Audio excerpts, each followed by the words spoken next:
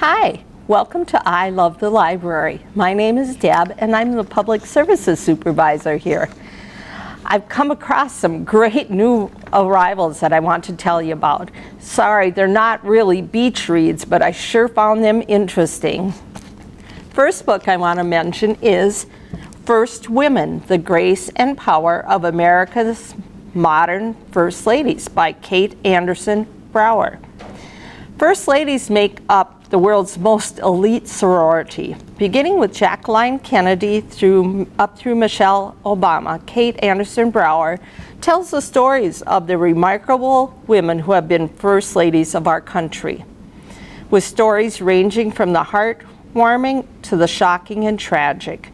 Brower discusses the First Lady's rivalries and friendships with one another and explores everything from their political causes to their public and private relationships with their husbands.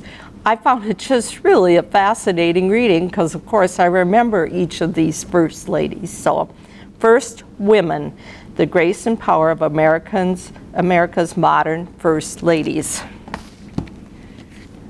After reading First Women, I was interested in learning about more uh, of some of, more about some of these modern first ladies. I came across another new arrival, Lady Bird and Lyndon, The Hidden Story of a Marriage That Made a President by Betty Boyd Caroli.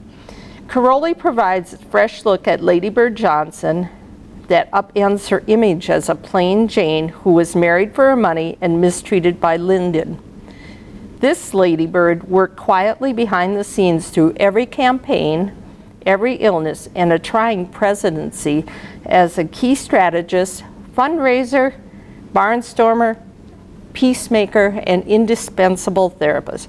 She, Caroli also tells the love story of a complex marriage, an irresistible tale of politics, ambition, and the power of unconditional marital love. So go ahead and read Lady Bird and Lyndon, The Hidden Story of a Marriage That Made a President.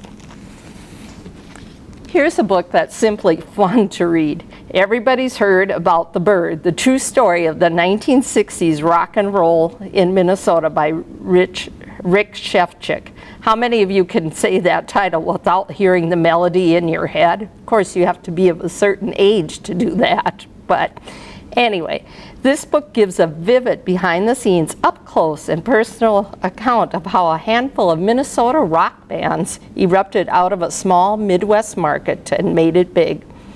Rick Shefchik begins with musicians from the 1950s and early 60s, including Augie Garcia, the Fendermen, Mike Waggoner, and the Bops, and of course, Bobby Vee, who we all know has ties to Detroit Lakes. For a delightful look back at history of rock and roll in Minnesota, check out this book. A little teaser. I am thinking this author might be fun to have for Detroit Lakes uh, 2017 Polar Fest, so we'll see what I can do. So, by the way, how many of you remember listening to Ouija? I think I spent my early teen years listening to WDGY, Ouija. Um, the dog lover in me had to check out this book, Pitbull, The Battle Over an American Icon. In the last year, my son acquired a rescue pit bull.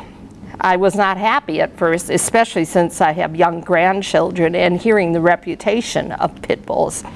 I was surprised Dax has turned out to be very friendly and a loving dog. This hugely illuminating story of how a popular breed became the most demonized and supposedly the most dangerous of dogs and what roles humans have played in this transformation. I didn't know it, but this pit pit bulls were favored by Teddy Roosevelt, Helen Keller, and of course Hollywood's Little Rascals.